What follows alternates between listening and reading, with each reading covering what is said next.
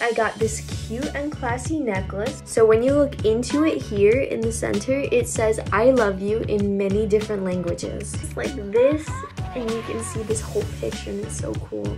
I am so impressed with them.